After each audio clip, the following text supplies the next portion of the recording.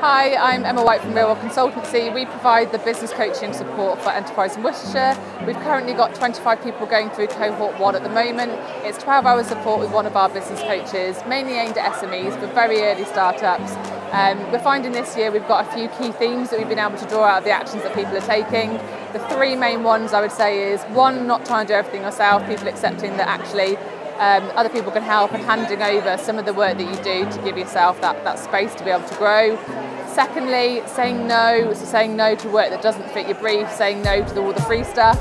And thirdly, taking the time out and setting boundaries, especially now a lot of us are working from home. So taking the time out to get that seg segregation, that separation between business and life at home.